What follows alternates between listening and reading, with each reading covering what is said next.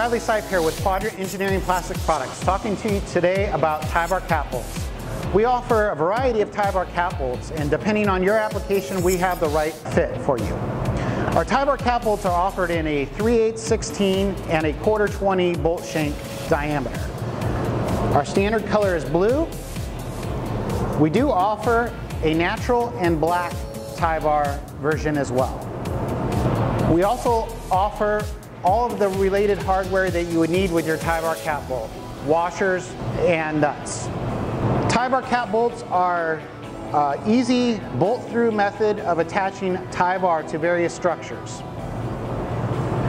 You can see here we already have some pre-drilled holes for Tivar cap bolts. This one here for a quarter 20 Tivar cap bolt fits right nicely into the counterbore hole. Same as with the 3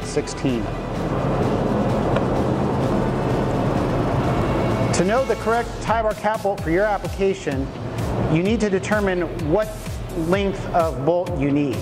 And that's dependent on the thickness of the liner and the thickness of the substrate that you're using. As you can see here with these two examples, we have a quarter 20 and a 3 8 16 bolt with two different lengths. So the thicker the liner and the thicker the substrate, the longer bolt you will need.